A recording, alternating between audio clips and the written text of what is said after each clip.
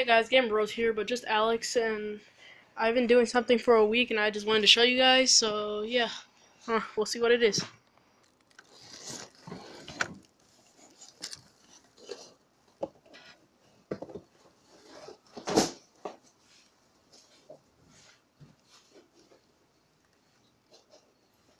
yeah, guys, I've been trying to make this.